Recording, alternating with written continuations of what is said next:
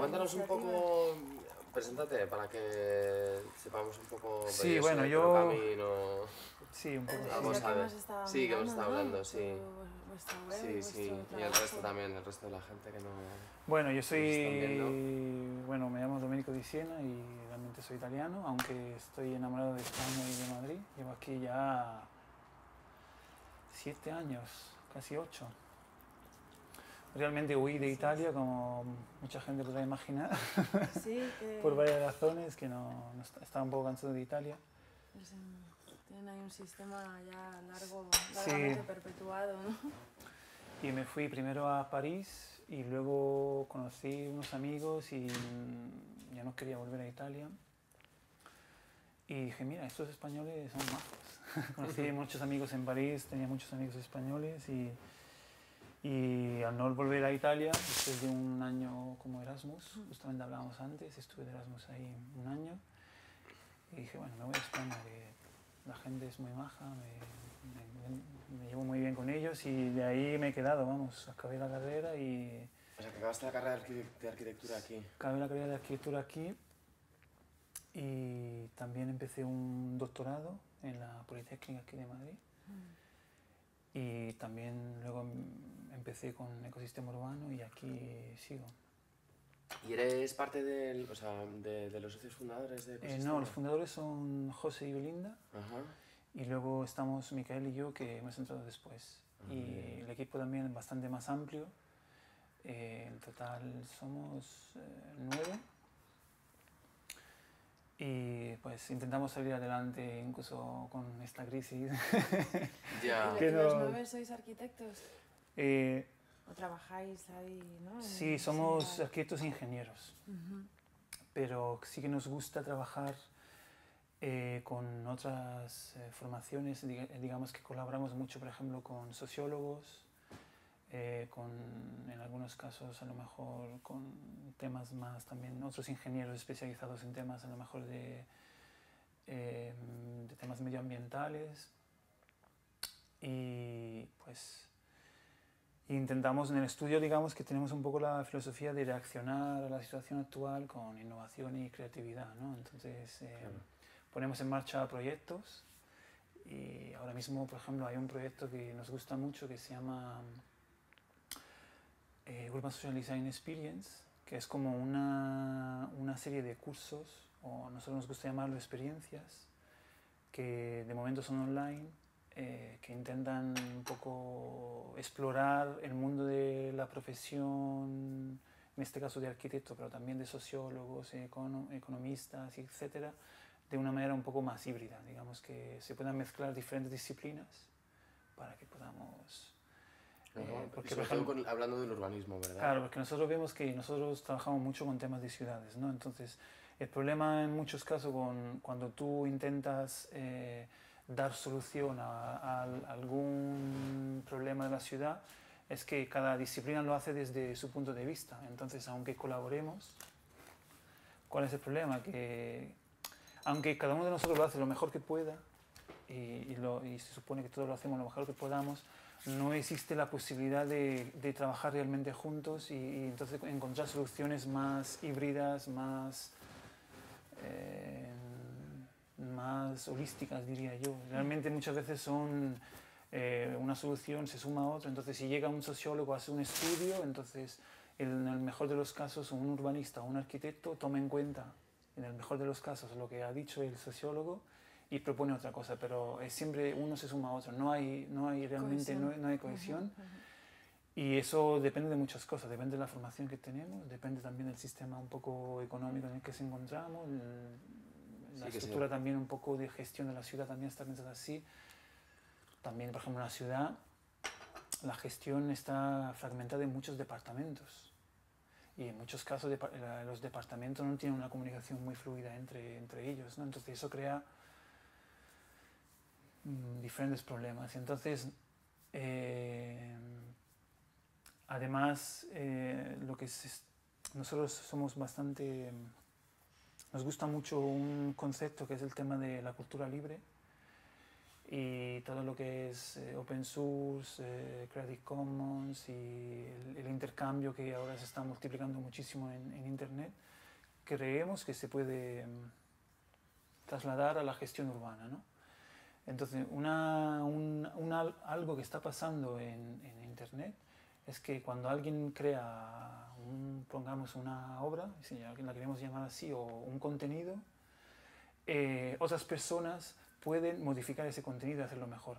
Pero no es que ese contenido, a ese contenido le suman otro, sino que realmente llegan y lo modifican. Entonces estamos hablando ya de un híbrido mucho más interesante, es decir, de un resultado que es eh, el, el, el, fin o digamos el, el, resultado, perdón la repetición, de un proceso de, de inteligencia colectiva. Entonces, y, y, es, la historia es que nos gustaría trasladar a, a, a, la profesión de urbanistas, de arquitectos, digamos, de gente que se dedica a la gestión urbana, ese concepto de poder mezclar, ¿no? Entonces, uh -huh. y... De sumar, que en realidad es Claro. eso, sí. Y luego a, a, todo eso nos gustaría eh, dar un papel importante al ciudadano, que eso ya es el gran...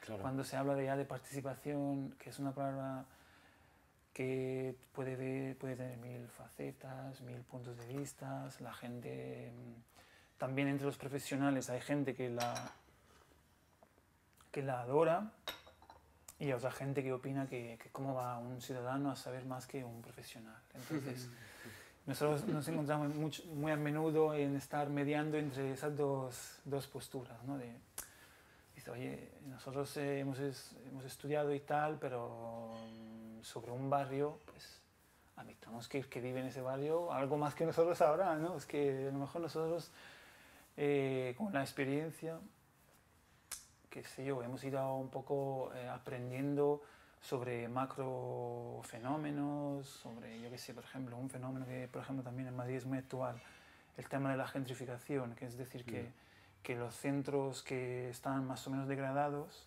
poco a poco se empiezan a, a reformar, se empieza a mejorar la calidad de las viviendas y tal, eh, la población local eh, que, se, que, está bastante envejecida, a lo mejor empieza a dejar esos barrios y llega la nueva, nuevas generaciones, solemos ser en realidad gente ya, creo yo, como nosotros. Es que, que de hecho, eh, perdona sí. que te interrumpa, pero yo creo que el proceso de gentrificación se, es, es, un proceso que, que, que, nosotros, lo que tú llamas eso, jóvenes sí. profesionales que llegan, ayudan. Ayudamos, a, nosotros lo, lo fomentamos. A, a fomentarlo. porque nos gusta el centro, nos gusta vivir. Nosotros no vamos claro. a vivir a, tomar por culo, pero no, yeah. ¿sabes? Para luego venir.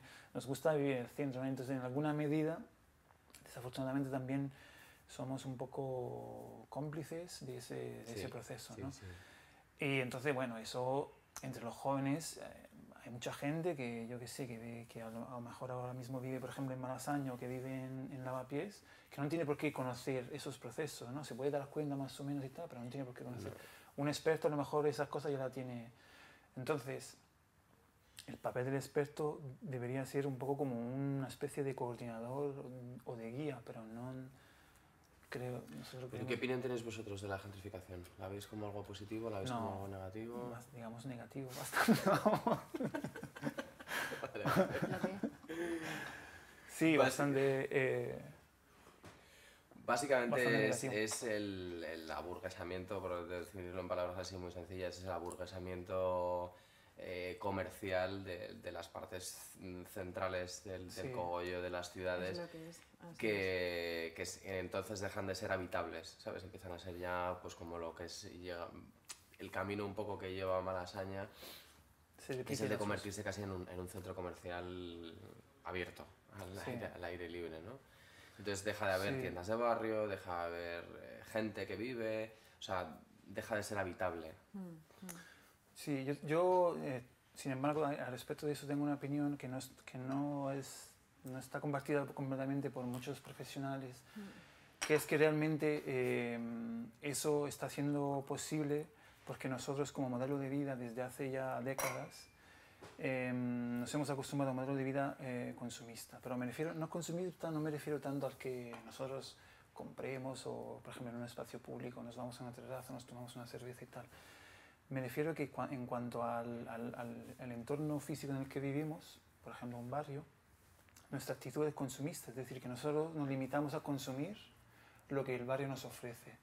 Por ejemplo, en cuanto al espacio público, un paseo con esta, un bel día como, como hoy, dar un paseo para mí, que está muy bien, me parece genial y luego si tengo tiempo lo voy a hacer, de hecho, pero eh, ese gesto es un gesto consumista, en el sentido de que no estamos aportando nada a la comunidad, ¿no? Entonces, y nos hemos, eh, hemos dejado que, que, este modelo que afortunadamente es democrático eh, tiene unos responsables que tienen el papel de darle vida y darle identidad a esos espacios urbanos. Entonces, yo creo que en las últimas décadas nos hemos acostumbrado a ese modelo en que nosotros en el espacio público, por ejemplo, no, no, no, actuamos con identidad. Es decir, yo la Plaza de España, por ejemplo, como madrileno o como supuesto madrileno que me gustaría hacer, eh, no tengo capacidad de darle identidad. O, por ejemplo, una, una plaza mm, mejor, Plaza Mayor, ¿no? que es un poco el, el, hito de la ciudad. Yo en esa plaza no puedo aportar nada como madrileno. Es decir, que no, no, esa, la plaza que, que de alguna manera se identifica con la ciudad, puesta del sol, no me permite a mí hacer algo activo, no consumista, sino activo, que le pueda dar identidad a ese espacio. Entonces, eso provoca modelos de vida que nos han acostumbrado a eh, consumir los espacios de una forma pasiva. Entonces, esos procesos facilitan que cuando llega un promotor o incluso desde el ayuntamiento, que a lo mejor puede tener dificultades económicas o, o en muchos casos falta de visión de futuro, lo primero que se le ocurre dice, mira, lo que tenemos que hacer aquí es limpiar estas viviendas, hacerlas más bonitas y que lleguen aquí gente con jóvenes con dinero que, y que esto lo van a poner más bonito, va a ser más interesante, como por ejemplo está pasando a lo mejor en, en Tribal, que llegan los creativos, tal y cual, ¿no? Pero claro, si uno piensa en el modelo de vida que nosotros tenemos cotidiano, yo qué hago en, en Madrid, he dicho que ya me encanta Madrid, ¿no? Pero quiero decir, ¿qué hago yo luego en Madrid? Todos los días, pues en el espacio público. Por ejemplo, si yo viviera en Malasaña, ¿dónde realmente tengo un espacio para hacer cosas con mis amigos en el espacio público? No, es difícil, a no ser que te sientes en la terraza de algún bar claro. o algo así. Es una actitud consumista, sí. Eso es el tema. Y, y de, de, desde arriba, digamos, se, se favorece ese modelo porque es más rentable por dos razones. Es más rentable económicamente, no porque se forran los políticos, sino que si yo tengo que conseguir que una plaza esté limpia, esté socialmente agradable, que no haya, yo qué sé, junkies o problemas tal, pues es mucho más fácil que eh, los bares pongan ahí sus terrazas, que además tienen que pagar una tasa para tener ahí las terrazas sí. y que sean ellos los que, los que se encarguen de, la limpieza. de la limpieza y de que la, la, plaza se quede. Y luego el otro tema es el tema eh, social. ¿no? Quiero decir que que como eh, políticamente es más difícil dejar libertad para que en el espacio público se hacen cosas interesantes, lo que se está intentando hacer, esto vamos en todo Occidente, digamos en Europa en, en general, lo que se hace es eh, una surabundancia de, regla de reglamentación, ¿no? es decir, no se puede estar, no sé, exagero, no se puede estar más de 10 personas, no sé, ¿no? pero hay, hay una unas cuantas reglas, ¿no? Que sí, no se puede beber en la calle. No se puede beber en la calle, no se puede... Mm. Y entonces, ¿eso para qué es? Es que para evitar problemas, que los hay, porque si yo, yo de hecho tengo ese problema, yo vivo en el centro y todos los días hasta las 2 o 3 de la noche pues hay ruido y eso mm. molesta, hay que decir que molesta, ¿no? Entonces, el político dice, ¿yo cómo puedo actuar frente a ese problema? Lo más fácil es prohibir. En lugar de promover un nuevo modelo de vida en la ciudad de Madrid, uh -huh. mucho más creativo, en el que yo en lugar de a lo mejor estar simplemente en la calle, a lo mejor me puede interesar hacer otras cosas en el espacio público, ¿no? Y ¿Qué cosas se pueden hacer Exacto. en un espacio público además de claro, que está es, prohibido? Pues no sé, por ejemplo, yo creo que eh, primero tenemos que mmm, ampliar un poco la idea, el concepto general de espacio público. Yo creo que, en Madrid hay un ejemplo muy bonito de espacio público que es la tabacalera. ¿Qué quiere decir? Que un espacio público, bueno, hay un, a mí me gusta una definición que hace un, eh, un arquitecto que, que, escribe también un poco estos, estos, temas, se llama Eduardo Serrano. Él siempre diferencia entre el espacio común y el espacio público. Y la definición que tiene el espacio común me parece importante para que volvamos a darle al espacio público un, carácter mucho más amplio y, lo voy a explicar mejor. Él dice que el espacio común es un espacio que es temporal y que es un espacio que se puede crear a partir de eh, la presencia de dos personas y que normalmente se crea en, en los límites, en las fronteras. Por ejemplo, cuando dos amas de casa hablan en las ventanas del patio, para él este es un espacio común y es un espacio común temporal que durará hasta que estas señoras estarían, están hablando. Y como vemos eh, pasa en la frontera porque eh, lo temporal muchas veces también tiene mucha relación con las fronteras, es decir, que como no es como las fronteras están delimitando dos espacios diferentes, es difícil que algo se permanezca siempre en la frontera, ¿no? Entonces es temporal. Entonces tiene esa relación. Claro, sí, y la frontera es el, patio de... El patio, de... luces. Entonces, es, a mí me gusta esa definición porque si la trasladamos también al espacio público, volvemos a tener una idea de espacio público mucho más activo, mucho más... Es decir, que sería interesante volver a recrear en el espacio público espacios comunes. Es decir, que si nosotros... Eh, este se puede considerar de alguna manera un espacio público, en el momento en que también le damos la dimensión digital, que la dimensión digital también tiene mucho de público. sí, de hecho, mira, quería, ah, me aprovecho la colación para hacer un, un, inciso. Los que nos estáis viendo, si tenéis preguntas, mandarlas por Twitter. ¿Vale? Twitter, arroba 40 días en la cama. Muy bien. Si yo recibo aquí algún, algún tweet, le contestamos. Lo contestaremos, exacto. Así pues, hacemos más público, más claro, participativo. Más público, más participativo. Y, entonces el, espacio público eh, puede ser un, un, espacio, por ejemplo, de creación colectiva. Eh, esto hace referencia a un concepto que a mí me alegra muchísimo, que en España sobre todo, pero también en otros países está eh, volviendo de actualidad, que es el procomún, que es lo de, digamos, un poco del provecho común, lo que es para todos. Una ciudad es un procomún, un espacio público es un procomún todas, todas aquellas cosas que pertenecen a, pertenecen a todos, pero que ninguno de nosotros se puede hacer dueño de ella. ¿no? Es decir, yo no, puedo hacer, no me puedo hacer dueño de un espacio público, no me puedo hacer, ser dueño del paisaje de una ciudad. O... Entonces, lo que sería también, eh, la, la, cultura también es un procomún, ¿no? y lo que tiene en muchos casos el procomún cuando se produce por la acción humana es que es el resultado de una creación colectiva, y eso me parece súper bonito, pero y esa creación colectiva, ¿dónde mejor puede ocurrir que no en un espacio público? ¿no? Entonces, el espacio público puede ser un espacio donde se permite que, que diferentes personas puedan crear algo de forma colectiva. Entonces eso está pasando probablemente en Internet, ¿no? En Internet, que es un espacio público muy claro y un bloque muy claro, la gente constantemente está, se está juntando para hacer creaciones eh, colectivas. Otro aspecto muy importante de la creación colectiva es el tema de, mm, que lo comentaba antes, que de la cultura libre y de las licencias abiertas, porque si yo no hago referencia a esas licencias, es muy difícil que yo pueda tener una creación colectiva, porque luego nacerían problemas. ¿De quién es esto? ¿De quién es este otro? ¿Qué has aportado tú? ¿Qué he aportado yo? Sin embargo, si nosotros desde el principio ya damos por hecho que lo que creamos ya va a pertenecer al dominio público, ya no hay ningún problema. ¿no? Y, y, eso sería interesante porque nos, nos sitúa, vuelvo también al tema de la profesión y de la mezcla entre profesiones, nos vuelve a situar en una posición en que eh, la inteligencia colectiva es el motor de la sociedad. ¿A qué me refiero? Que, que nosotros nos hemos acostumbrado a, también hago referencia al tema del, de la actitud de vida un poco consumista, que nosotros nos especializamos profesionalmente en algo, nos dedicamos profesionalmente a algo y, y en eso es donde sacamos el dinero. Y con eso pagamos todas las demás cosas que necesitamos. ¿no?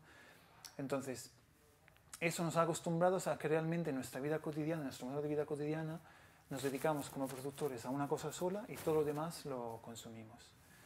Entonces, em, y eso se basa en que eh, probablemente para que yo pueda seguir siendo o, o, ganando mucho, lo que sea, o montando una empresa, lo que tengo que hacer es proteger mis creaciones, que es el modelo que tenemos actual de licencia cerrada. Entonces, y no, en este caso quiere decir que si otra persona quiere llegar al mismo nivel que yo en conocimientos o en lo que sea, me tiene o que pagar a mí algo o tiene que empezar desde cero.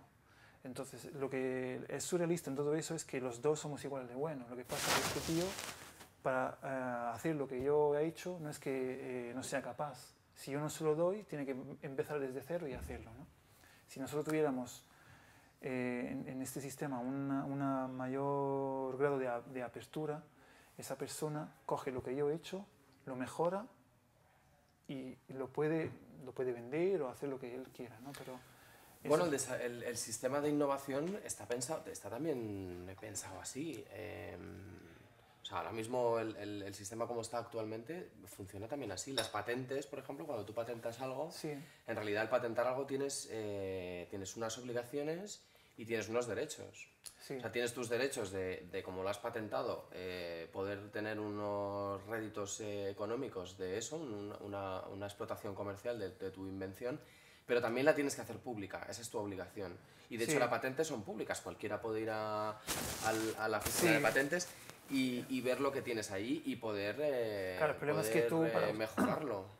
En muchos casos para usarla eh, o no puedes o tienes que, que, pagar. Entonces, lo que eso, digamos, en cuanto a modelo económico, desplaza un poco el que, em, que, digamos, que lo que es monetizable, nosotros intentamos actuar mucho en la oficina. Lo que es monetizable no es tanto la idea o el producto, sino el servicio. Es decir, nosotros, por ejemplo, como, como profesionales, no queremos vender un objeto arquitectónico o un plan urbanístico, porque ¿cómo, ¿cómo puedes tú definir o declarar que eso es algo que has eh, creado tú. Es que todo lo que nosotros hacemos eh, tiene detrás miles de cosas de otras mil personas. sí. Tú y cualquiera, cualquier persona. claro, te, te, basas en el conocimiento que ya hay. Que ya, ya es decir, el conocimiento es algo que es colectivo, es una creación colectiva, el resultado de muchos. Entonces, lo que nosotros sabemos hacer es aplicar ese conocimiento. Es decir, si tú me dices que quieres mejorar un barrio de Madrid, yo, haciendo referencia a todo el conocimiento, a todas las cosas que se están produciendo, que yo claramente eh, como profesional estoy de alguna manera también obligado a estar al día y a leer mucho y a enterarme mucho, a compartir mucho. Cuando me encuentro de frente, de, a un problema, mi capacidad no es vender un producto, sino ofrecer un servicio. Es decir, poner en marcha un proceso que pueda solucionar un problema. Y eso es un poco la filosofía que nosotros intentamos adoptar. Y nos parece interesante porque también a nivel de, de ciudad, porque pongamos un, ejemplo, un poco, puede parecer un poco tonto, pero en esto que estoy comentando del, del la profesionalización, el papel de vida cotidiana como consumista, etc. Si nosotros, uno, si nosotros somos, por ejemplo, urbanistas y hacemos un plan urbanístico como se hacen, y es, este plan urbanístico es un plan cerrado que yo entré con la ciudad, ese concepto nosotros entendemos que, que es algo cada vez más eh, del pasado, debería ser algo del pasado, porque es un, un producto cerrado que de alguna manera propone la ciudad de una forma determinada, que tú como profesional opinas que es lo mejor, pero que eh, en el momento en que esto se superpone en la ciudad, no, no tiene por qué ser real. Y luego, en, en ese sentido, estás contribuyendo a que el ciudadano sea consumista, es decir, que el ciudadano consume ese plan urbanístico que los expertos han creado. Entonces, nosotros lo que queremos es que yo lo que voy a proponer es eh, un proceso, que yo voy a ser un coordinador de ese proceso, pero tú, ciudadano, tienes que participar. Es casi un derecho y un deber. Una obligación. ¿Sabes? Como que no es que no, llegan los profesionales y te entregan un... ¿no? Entonces nosotros entendemos que todo eso llegaría a un nuevo modelo de sociedad en que estamos como un poco más interconectados y, y, tiene que ver también, yo creo, con esto de, un poco de la filosofía slow, porque si nosotros tiramos siempre cada vez más a la especialización, eh, estamos obligados cada vez más a hacer más y mejor y más barato y, y más y más. Sin sin embargo si nosotros crea, creamos redes, el valor añadido no se crea en el, mejorar, por ejemplo, solo eh, la, cantidad o la cualidad. El valor añadido se crea porque somos capaces de aprovechar la inteligencia colectiva. Es un poco lo que nosotros entendemos que, que puede ser un nuevo modelo de ciudad. ¿no? Es decir, no tenemos que... Porque si no, nosotros los profesionales podemos caer en el mismo juego de, pues este año hemos hecho tres proyectos, el año que viene tenemos que hacer cinco. por hacer más y entonces... Y, qué consecuencias tendría el aprovechar la, eh, la, inteligencia colectiva, lo que, ya, lo que ya está, a nivel personal y a nivel grupal? Sí, yo, yo veo que a nivel personal es eh, poder de alguna manera aplicar una manera de vivir a las dos, dos facetas de la vida. ¿no? otra cosa que nosotros, bueno, por lo menos yo personalmente tengo bastante claro es que nosotros en el pasado eh, teníamos muy definido el dónde acaba el, el, mundo del trabajo y dónde empieza un poco la vida personal, la vida privada, la vida familiar. ¿no? Entonces, ese límite, esa frontera está cada vez más eh, frágil y no está tan clara y entonces eh, nosotros lo vivimos directamente, personalmente, ese problema. Es decir, ¿dónde, ¿cómo puedes tú descansar si realmente, incluso el fin de semana que no trabajas, realmente tienes en la cabeza mil cosas que tienes que hacer la semana siguiente o estás pensando, o, tiene que ver mucho con el tema de los creativos, ¿no? que, que, se dice que la nueva economía de los creativos realmente se aprovecha de la creatividad de, los, de las personas en cualquier momento. ¿no? Entonces, Sí, es porque es la creatividad. Todos sabemos que te puede venir en la ducha y normalmente es cuando te, te viene en la ducha y cuando estás cocinando y haciendo otras cosas que no tienen nada que ver con estar delante del, del papel. Y eso, de, de, alguna manera, también se puede entender como algo bueno. Pero nosotros tenemos que empezar a... actualmente choca con el modelo que tenemos de, social de organización. Porque si nosotros tenemos un modelo que está organizado por, por jornadas laborales, que aunque nosotros seamos, eh, digamos, eh, creativos, entonces no tenemos a lo mejor una jornada establecida, realmente el modelo dominante es ese. Entonces, Em, la sociedad no, nos, nos, nos, ha educado de alguna manera siempre a eso. Tú tienes tu trabajo profesional y luego tienes la vida privada. Y, y, eso afecta, como hemos dicho, también a la manera de vivir la ciudad. De, alguna manera tú la ciudad, en, en, las dos facetas, también las vives de una forma diferente.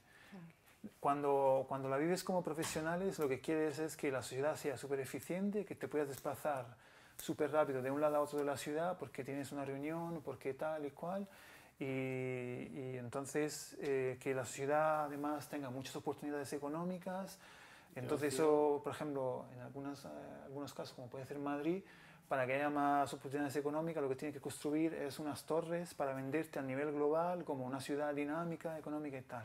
Pero luego, claro, cuando vives como personal, no, no, todo eso no, nada, quieres el parquecito, para estar con tu familia, con los amigos, si tienes hijos con tus hijos y tal. Entonces, choca incluso en, lo personal.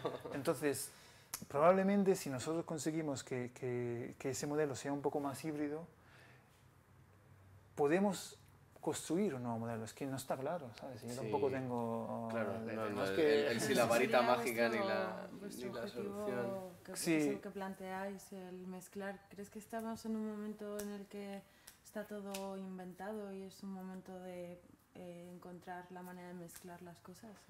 Sí, digamos que sí, a mí me gusta así mezclar. Yo creo que la hibridación, la mezcla de más cosas puede ser un mm. poco la, la, clave, ¿no? Crear redes y, y hibridar ideas, conceptos, eh, servicios y me parece como una manera de, de poder seguir adelante. ¿no? Volviendo al tema digital, ahora mismo, por ejemplo, eh, nosotros eh, vivimos un cambio, un cambio epocal y, lo que está pasando en el norte de África está mm. bastante claro de manifiesto y tal. Pero nosotros mismos en Europa no nos damos cuenta que, que, por ejemplo, cosas como la identidad digital son súper importantes. Es decir, que nosotros, de hecho nosotros somos la generación puente, que es una generación muy interesante, porque hemos vivido los dos mundos. Hemos vivido el mundo analógico y estamos de alguna manera protagonizando, experimentando y creando el mundo digital. ¿no? Lo que vienen después, los que llaman nativos digitales, ya lo tiene todo. Entonces, eh, eso supone unos cambios de, cómo entendemos la sociedad, la sociedad, de cómo nos relacionamos, cómo vivimos los espacios brutales. ¿no? Entonces, yo siempre recuerdo un, cuando me encuentro en, en, situaciones que tienen que ver con esto y comento este tipo de mm, temas, eh, me gusta recordar una, una publicidad que, que, creo se hizo en el Reino Unido, que intentaba como... Em, de alguna manera crear una conciencia en los teenagers acerca de qué es la identidad digital y lo peligroso que es publicar información personal en, en Internet. ¿no? Realmente eso es un problema. ¿no? Entonces yo, yo sí que entiendo que es un problema, pero la manera que tienen los, los agentes eh, y digamos las personas que no entienden ese, ese medio o que forman parte de otra generación, la manera que tiene esto, esta gente de, de avisarnos o de, de, alguna manera eh, um, ponernos delante y presentar que existe ese peligro, lo hacen siempre de una manera muy torpe. ¿no? Entonces os voy a contar un ejemplo. En, en esta publicidad se quería como poco dar un toque a los jóvenes de cuidado con lo que publicáis en Internet. Y el comienzo del, anuncio, un anuncio de televisión, estaba muy bien, porque la, la, la historia era que, que, dos chavales que empiezan a salir y teenagers y entonces lo típico, te empiezas a hacer algunas fotos que a lo mejor están un poco más desnudo de lo habitual y tal. Eh, uno de los dos chavales eh, se va con amigos eh, a, eh, a jugar al fútbol, pongamos, y los amigos cogen el móvil, empiezan a ver la foto y entonces ven la foto y con esa foto la mandan a un amigo y entonces, bueno, ese amigo la, la recibe, la manda a otro y a otro a otro, ¿no? Entonces hasta aquí la la, este anuncio está muy bien hecho porque es, refleja la realidad. Eso es algo que puede pasar sí. todos los días y seguro que está pasando a mucha gente que no se da cuenta. Sí. ¿Qué pasa? Que luego se vuelve torpe. El mensaje final es muy torpe porque pone el, el, fin de una manera eh, catastrófica porque lo que pasa, digamos, el, eh, como mensaje es que al final esa foto llega a un, un pederasta. Entonces llega un pederasta y entonces ya la, el mensaje es que el peligro es que esa foto llegue en manos de un pederasta, que sí, es cierto. Que es cierto, pero no es el peligro. Pero el peligro real es el otro, es decir, el peligro real y más común y más cotidiano es que hay gente que está intercambiando información en Internet sin darse cuenta de lo que quiere decir eso, ¿no? Y esa es la identidad digital. ¿Qué pasa? Que nuestros padres, que supuestamente son los que nos educan, no conocen la identidad digital, no saben lo que es, lo que conlleva y todo eso. ¿no? Entonces, uh -huh. por eso que, volviendo un poco a lo que decíamos antes, vivimos un momento muy peculiar, porque por primera vez estamos creando cosas nuevas que tienen que ver incluso con la forma que tenemos de, mm. de relacionarnos. Es decir, un tío, un joven en el Magreb, que empieza a usar Facebook para, para, montar lo que están montando, hemos visto escenas que están muy contentos, es decir, que, pero sí. eso no todo el mundo lo puede entender, ¿no? no puede. Mira, estuvo, de los primeros días estuvo aquí un sociólogo eh, que precisamente nos, nos, nos, advirtió sobre... Sobre esto. Sobre el, el tema de la, de la, identidad digital, la ¿sabes? Digital. Que él veía un, eh, veía un problema de, pues, ¿qué, de qué edad tendría. Eh, eh, sus 50. Sí, 50, entre los 50 y los 60. Sí. sí. Y, y, él, y vamos, es una persona con, con, con, muchos estudios y con muchas cosas hechas y eso, y decía que, que debía haber un problema con eso, con la identidad digital por el, por el rastreo, porque estaba todo, al final había estado toda la información ahí, ¿no? Disponible a, sí. a disposición de cualquiera y en, el, y en el fondo también es verdad que tiene, tiene razón, ¿no? Que en un momento dado si alguien puede entrar en nuestro Facebook, ¿sabes? Tenemos un Facebook desde que tenemos 16 años hasta que tenemos 26, ¿no? Y alguien puede acceder a eso, de repente tienes todo, tienes todo tu historial ahí metido, ¿no? Sí, sí, luego frente a eso hay como dos, dos posturas, ¿no? Está la postura que es más eso, tenemos que volver a lo de antes, como sea.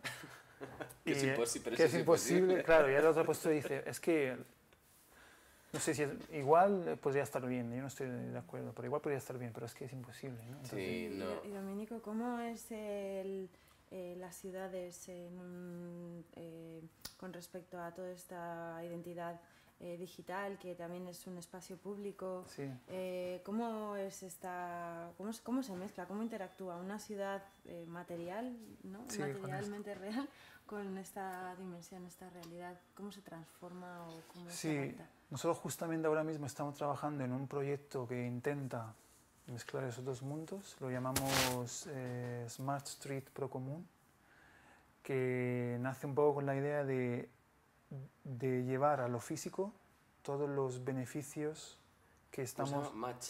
Smart Street, ah, smart. smart. Street Pro Común. Uh -huh.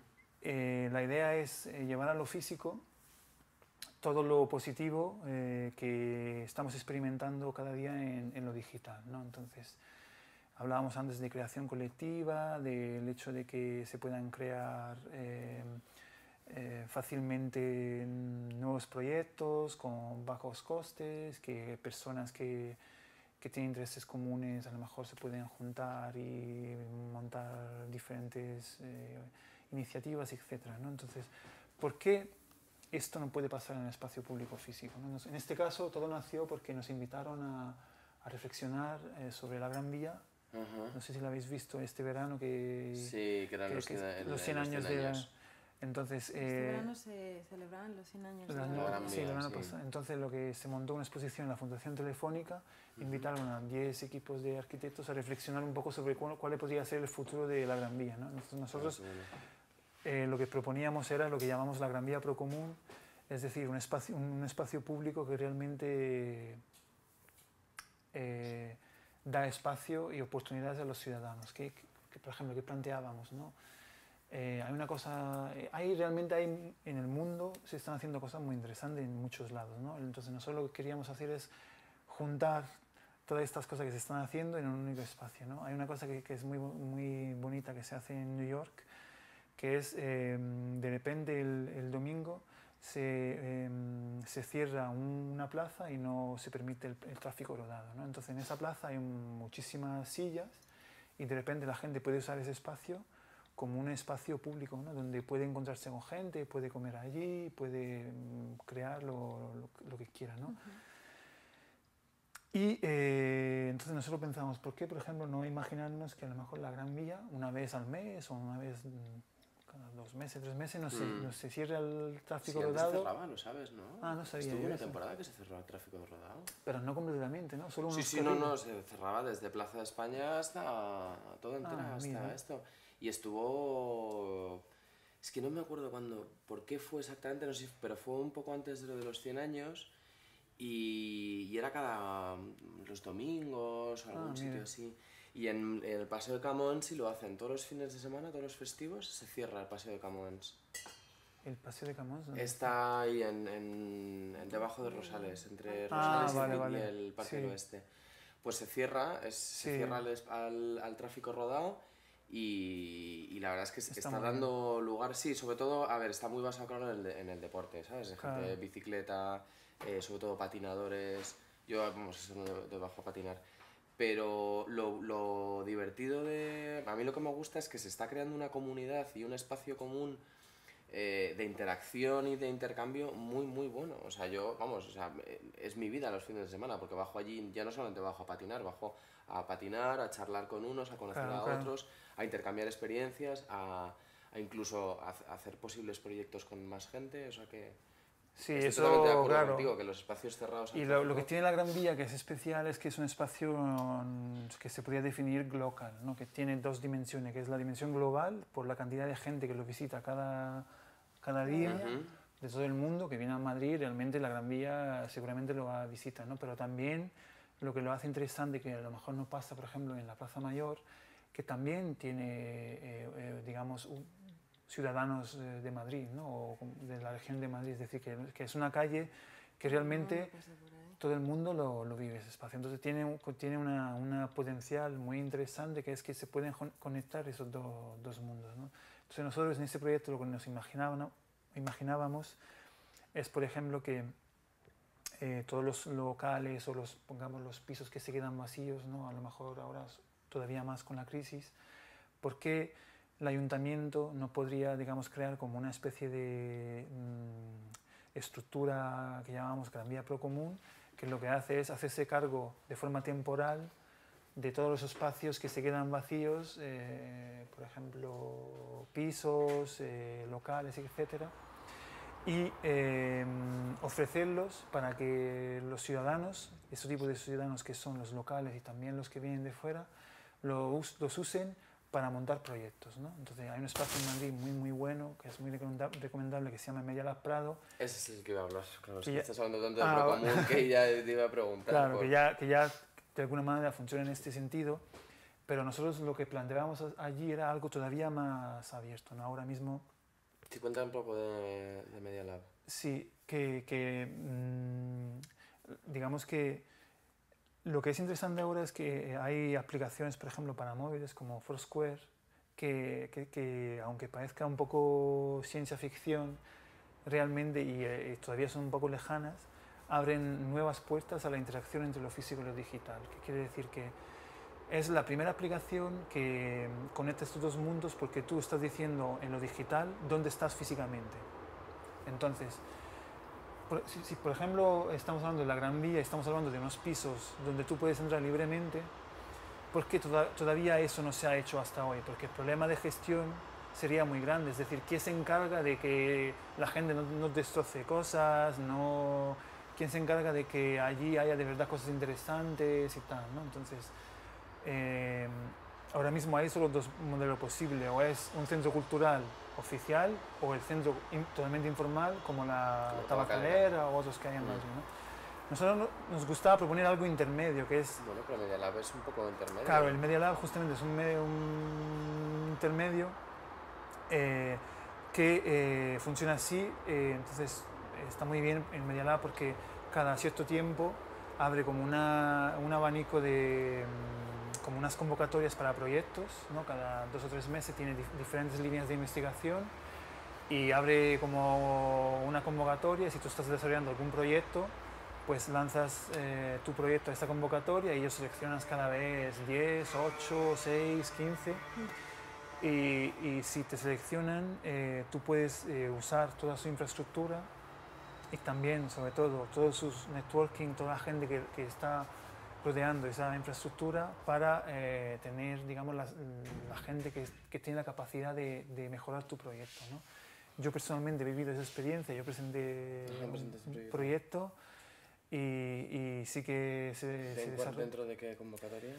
Yo participé eh, en la convocatoria de un taller que era para la fachada digital, justamente, Ah, vale, el de fachada digital. y sí. presenté un proyecto que se llamaba Local Feed Plaza Letras, Ujú. que la propuesta era utilizar esa pantalla digital realmente siempre para los mismos temas. En ese caso la, propuesta era usar esa pantalla digital para crear eh, un nuevo elemento de, mm, de conexión entre los vecinos. ¿Qué quiere decir esto? Que, que mm, la idea era trasladar a un espacio público algo que normalmente ocurre en un espacio privado. ¿Qué quiere decir? Que, que, que hay muchas cosas que cuando se hacen en lo público se disfrutan más. Y un ejemplo muy claro es, por ejemplo, cuando hay la selección que juega un partido, pues a mucha gente le gusta más ver ese partido en una plaza con una pantalla gigante, Con gente. con sí. gente, eh, que a nivel, digamos, muy práctico es más incómodo, ¿no? Probablemente.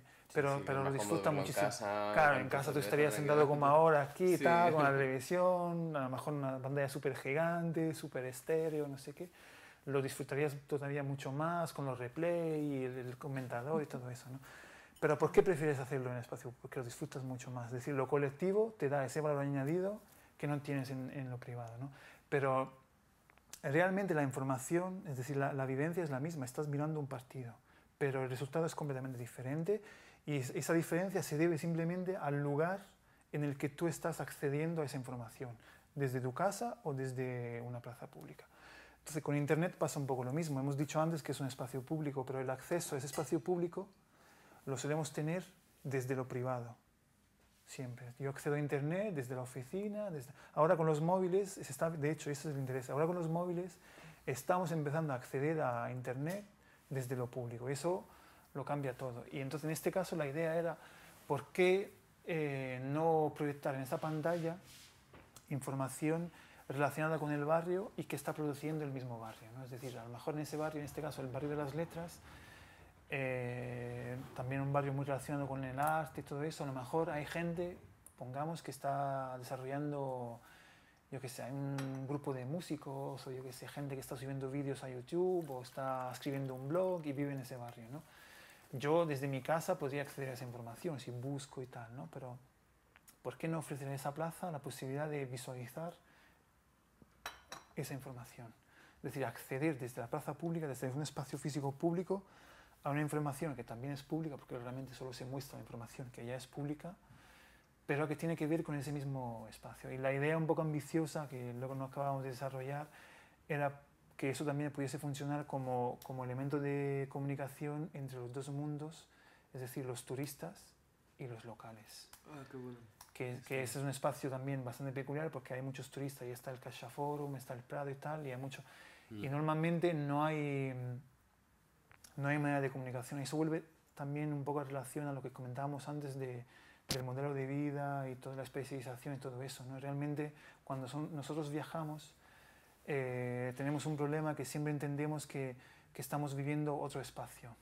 Lo que, me quiero, lo que me quiero referir es que definir cuál es tu casa, cuál es tu, tu ciudad, es algo que también habría que empezar a tener mucho más claro. ¿no? Por ejemplo, en Barcelona lo tienen muy claro que la gente está harta, por ejemplo, de los turistas. ¿no? Y entonces, pero los turistas son ciudadanos también de Barcelona. Es decir, si tú como ciudad has querido que lleguen turistas, los turistas no, no los puedes considerar como otra gente. Dicen, no, estos son ajenos a la ciudad. No, no, es que, es que tú has querido que vinieran. Y entonces, aunque sean visitantes temporales, son ciudadanos de esa ciudad. Vuelvo al tema de antes también de los espacios temporales y todo eso. ¿no? Es decir, que las condiciones temporales no son excepcionales. Nosotros nos hemos acostumbrado a pensar que lo temporal es excepcional y entonces pasará y entonces ya no es real. No, no, es que lo, lo excepcional, perdón, lo, lo temporal es completamente real y puede eh, modificar completamente un, un espacio. Entonces nosotros en este caso queríamos decir que, que los visitantes de ese barrio de Madrid pudieran tener la posibilidad de, comunicarse también con los vecinos y que formen parte también de ese, espacio. ¿no? Nosotros, entre otras cosas, también desarrollamos un, participamos en un concurso, por ejemplo, para un centro cultural y, que, inspirados muchísimo por lo que es ya, y afortunadamente ya existe, que es Media Lab, es decir, un centro cultural que te permite interactuar con él y que no, que no sea solo algo en que tú vas, visitas, ves dos o tres cosas que te han gustado, vale, bien, pero luego no tiene ninguna otra cosa, ninguna oportunidad. Mm. Entonces, por ejemplo, para mí es mucho más interesante el Media Lab que el Prado, con perdón, pues, puede parecer una heresía, pero es mucho más interesante. ¿Por qué? Porque yo en el Prado sigo teniendo esa actitud consumista. Es decir, accedo a información, consumo esa información y ya. Pero luego no tengo ninguna posibilidad de desarrollar cosas. Si voy al, al Media Lab Prado, tengo oportunidad de desarrollar cosas. Y además puedo desarrollar cosas con otra gente. Entonces vuelvo al tema de la creación colectiva. Y eso también es un espacio público. Entonces, si además ese centro cultural tuviera la capacidad de conectarse con, con, los, con, los, vecinos, pues estamos hablando de un espacio público conectado con lo físico que eh, además a través de lo digital puede permitir a la gente que tiene ganas de hacer cosas de aprovecharse de los conocimientos que proceden a lo mejor de Londres, de, no sé, de, de París o lo que sea. ¿no? Eso es, además es un modelo que es muy interesante eh, y que a lo mejor yo creo que va a tener eh, una primera aplicación en las ciudades más medianas. Eh, nosotros, por ejemplo, ahora estamos trabajando en un proyecto para una ciudad mediana en Noruega, cómo, cómo, cómo digamos, permitir el nacimiento de un nuevo espacio público que pueda involucrar a los locales, lo que hablábamos antes, no queremos dar un plan y decir, esto es, no, tenemos que ir con vosotros y desarrollar este plan, pero también lo que está, sabemos es que como es una ciudad mediana, está como al norte de Oslo, ¿no? tiene como unos 30, 40 mil habitantes, hay muchas cosas que no ocurren ahí, porque tú, por ejemplo, pongamos en Madrid, no, no, no es casualidad que la tabacalera esté en Madrid. No puede, no puede, tú no puedes tener la tabacalera en Alcalá de Henares o en, en, en Ciudad Real. No va a pasar eso ahí. ¿Por qué? Porque, porque hay cosas que ocurren en Madrid que se deben a su condición local, de que hay gente, por ejemplo, como yo, otra gente que no es de Madrid, que ha venido aquí porque la, la reconoce como un lugar de oportunidad. Mm. Ahora bien, si nosotros esa oportunidad la, la, la, conseguimos sacar desde lo digital, podemos crear espacios de, de muchísima calidad sin eh, obligarnos a desplazarnos kilómetros y kilómetros. ¿no? Es decir, si yo tengo una ciudad mediana que está cerca de Oslo, ¿por qué esa ciudad mediana no puede tener la vivacidad cultural y creativa de una ciudad tan grande como Oslo. Hoy que tenemos la posibilidad de conectar conocimiento, conectar personas a través de lo digital. ¿Por qué no puede ser? ¿no? Ese es un poco el reto que también estamos experimentando. Entonces, uh -huh. un espacio público que, que, que, que, se entiende como un espacio de creación puede captar